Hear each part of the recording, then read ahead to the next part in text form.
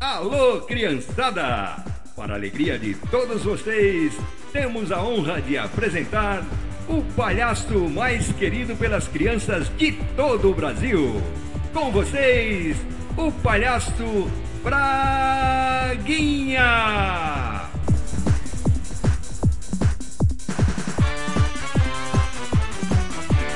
Vem, vem cá, vem,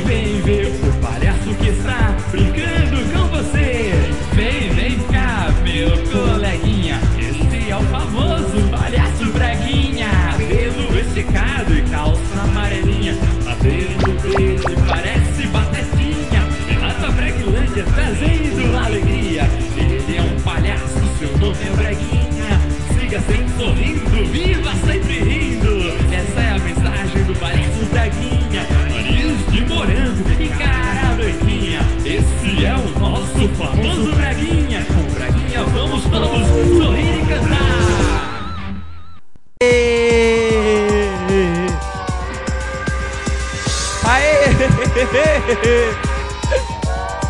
É com essa alegria, é com essa animação que está começando mais um programa do Braguinha na sua televisão. Aê! Oi, Carlito Pirulito, tudo bom com você? Ah, tudo, e você? Tá tudo terel teu tel com você? Hein? Tá tudo terel teu tel com você? Peraí, eu não tô entendendo, Teretel, o que é isso? Você não sabe o que é terel teu tel? Você sabe o que é terel teu tel? Não. Eu? Terel teu tel, você sabe o que é terel teu tel? Não. O que, que teu é? tel é o jeito do Braguinha falar Oi, como vai você? Ah, então, tá tudo tereu teu tel com você? Tá. Tá tudo tereu teu tel com você? tá. Tá tudo tereu teu tel com você? Quem gosta de piadinha? O Braguinha vai contar uma piadinha muito legalzinha. Eba, Vamos lá. Ô, Carlito Pirulito, eu. você sabe por que o louco dorme com o relógio embaixo do travesseiro? Não, não sei. Pra acordar em cima da hora! Carlito Pirulito, você sabe por que a vaca morreu afogada? Não, por quê? Não, porque ela foi namorar o peixe boi! Ai, que da hora. Carlito Pirulito, você sabe por que o que o, o Batman mais gosta na internet? Não sei por quê. O, o, o Batman mais gosta da internet da sala de bate-papo! Aê! Quem quer ouvir a historinha do Braguinha? Vamos lá. Agora nós vamos ouvir a historinha da Branca de Neve. Todo mundo quer história? Branca de Neve. Era uma vez uma linda princesa chamada Branca de Neve. Seus cabelos eram negros e a sua pele era branca como a neve. Oh, a pele da Branca de Neve era uma pele branquinha, assim, que nem a sua, bonitinha. Que nem a minha, né? a madrasta da Branca de Neve era muito vaidosa e orgulhosa. Que feio, né, Carlito Pirulito? É. Tá certo ou não tá? Não. É muito feio ser vaidoso e orgulhoso, que o Papai do Céu não gosta. Não aceitava a ideia de alguém ser mais bela do que ela. Por isso, sempre consultava seu espelho mágico. Espelho, espelho meu! Existe alguém mais bela do que eu? Nossa, Perguntou a rainha. o espelho respondia? Respondeu o espelho. Não, minha rainha, não existe ninguém com tamanha beleza. Um dia, porém, a rainha surpreendeu. Espelho, espelho meu, existe alguém mais bela do que eu? Sabe o que o espelho respondeu? Sabe, sabe? O quê? O espelho respondeu. Sim, minha rainha, linda como a flor, a pele branca como a neve, é ela, a Branca de Neve. Oh, então, até então, a rainha já não era mais a, a mulher bonita, tinha surgido a Branca de Neve. A madrasta se encheu de fúria. Não suportando a beleza de Branca de Neve, a malvada ordenou a um caçador. Leve esta indesejada menina à floresta e a mate. Ah, Nossa, e o caçador matou ela? que susto! O que, que o caçador fez? O quê? Olha só, olha só, olha só. Assim fez o caçador. mas a menina lhe implorou que a deixasse viver. Como era encantadora, o caçador decidiu: fuja, fuja, corra para dentro da floresta. Branca de Neve corria assustada pela floresta, sem saber ao certo que rumo tomar. Ao entardecer, avistou uma pequena casa onde parou para descansar. Ah! Ela Nossa, estranhou, pois tudo na casa era muito pequeno. Como estava com muita fome e sede, Branca de Neve aproveitou para comer e beber um pouco. Depois de organizar a casa, resolveu descansar. Branca de Neve deitou-se numa cama menor do que ela. É, meu amiguinho. Ela Nossa! conseguiu deitar numa cama menor que ela. Olha a cabeça das crianças ali. Elas vendo a historinha, que legal. Depois de organizar a casa, resolveu descansar. Ela deitou na cama, mas de tão cansada logo adormeceu. Quem gosta de dormir aqui? Quem gosta de dormir assim? Branca de Neve dormiu. Um pouco. ai, ai, ai. Um pouco mais tarde, os donos da casa voltaram. Eram sete os anões. Quando entraram.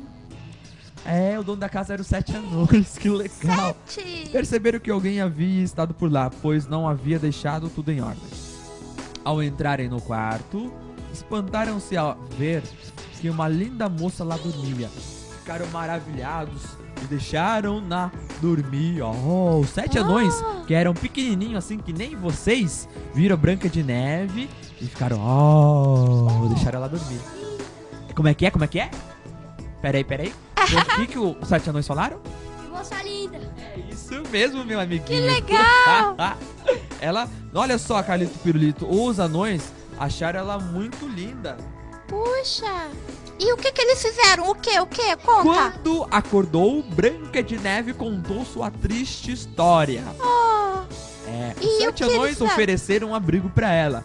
Branca de Neve passou a cuidar das coisas de casa. Enquanto isso, a madrasta malvada, consultando o espelho, descobriu que a Branca de Neve continuava viva. e o que que a madraça malvada fez? O quê? com os sete anões. É, a madrasta era uma bruxa e se transformou em uma velha camponesa. Foi até a casa dos sete anões e ofereceu à menina uma maçã envenenada. Ai, credo! Essa madrasta tá precisando se converter, não tá? Ai, tá. Ela é muito má. Ela tá muito malvada. É. Foi até a casa dos sete anões e ofereceu uma maçã envenenada a Branca de Neve. E Branca de Neve comeu e caiu! Ai, ai, ai, ai, ai, ai, ai, ai, ai. Caiu, dura no chão. Quando os sete anões voltaram ao trabalho, tristes ao verem morta a Branca de Neve. Colocaram num caixão de vidro e a levaram ao topo de uma colina. Alguns dias depois, passou por lá um príncipe. Ao vê-la, se apaixonou loucamente. Olha só! Ah, mas ela é muito linda. Ai, ai, ai, ai, ai. Com um beijo, Branca de Neve reviveu. Ah! Vocês querem ver, querem saber do final? Quer saber? O príncipe levou a Branca de Neve para o castelo, onde se casaram e viveram felizes para sempre. Aê! que legal! Que legal!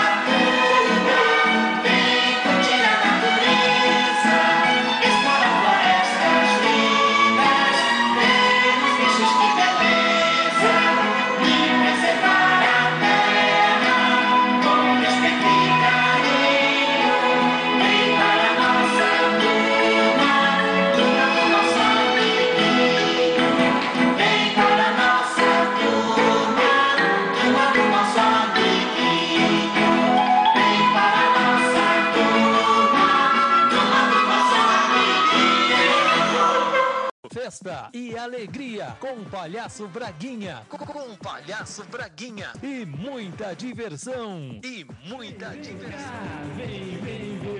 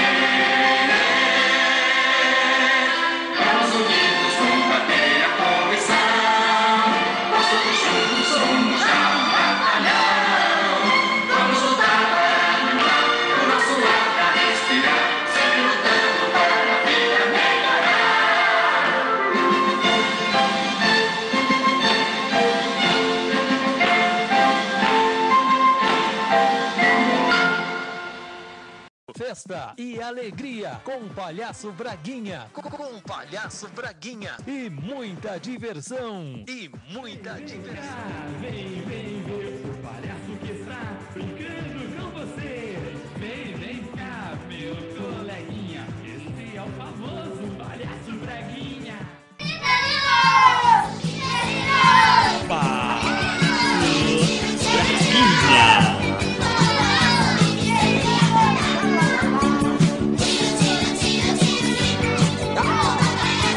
Olha só que animação! Olha só a alegria das crianças! Meu amiguinho de casa, minha amiguinha, meu querido coleguinha, tá na hora de brincadeira no programa do Braguinha! Essa é a brincadeira dos sapatos, olha só. Vai sair, eu vou contar até três. Vai sair um menino e uma menina vai calçar o seu tênis que tá aqui, que tá aqui. Aí ele vai colocar ela e ele vai bater no coleguinha que tá do lado. Aí vem o coleguinha até vir o último. Vence a equipe que for mais rápido e calçar todos os calçados na brincadeira dos sapatos. Aí. Bragninha, Bragninha, você vai torcer pras menininhas? É claro. Ah, Braguinha, minha namoradinha, você que é uma menina sapeca, levada da breca que nos cueca, dá um beijinho na minha careca. Ai, que gostoso, Lulu! E você, e você, amigão, tá animado pra vencer? Eu quero saber aqui, quem vai ganhar, meninos ou menina? Quem vai vencer, meninos ou menina? Vamos todo mundo pra trás, vamos todo mundo pra trás, aqui pra cá, pra cá, mais, pra cá, mais, pra cá. Eu vou contar até três, vai começar a brincadeira, hein? Vamos lá, vamos lá, vamos lá, cara. Vem aqui todo mundo juntinho. Um, dois, dois e meio, três e já! Vamos lá, menino! Vamos ver quem vai ganhar, se são os meninos ou se são as meninas. Vamos lá, bem rapidinho, bem rapidinho. Vamos ver quem vai ganhar. Eu acho que vai ser as meninas. Cadê a torcida das meninas? Menina! Cadê a torcida dos meninos? Vamos lá, vamos lá, tchau, tchau, tchau, tchau. E acabou! A vitória foi. Tchau, tchau, tchau, tchau, tchau, tchau, tchau, A vitória foi da brincadeira dos sapatos. A vitória foi. Foi, sabe quem foi, Braguinha? Quem foi? Dos meninos! Aê! Viva eu, viva tu, viva o rabo do tatu! Mas não fica triste não, menininha, porque no programa do Braguinha todo mundo ganha, não é, Braguinha? E agora, nesse clima de alegria, nesse clima de, nesse clima de descontração, vamos dar tchau ali pro tio Amaral, porque tá acabando o programa. Que peninha! Como é que é, Braguinha? Ah, que peninha. Olha só, tá acabando o programa e você que quer levar o Braguinha na sua casa pra fazer, para fazer essa festa aqui com muita alegria e diversão, liga no telefone 40 31 61 87. Ó, um beijo e um abraço pras crianças do Kadoshi, um abração pro meu amigo o pastor Itamar, a sua esposa e família, todo Deus mundo, abençoe, Olha tá? só. E se você quiser levar o Braguinha pra fazer essa festa, essa alegria na sua casa, liga no 40 31 61 87. E não esqueça, eu sou o Braguinha, o seu coleguinha. Tchau, criançada! Aê! Sempre sorrindo.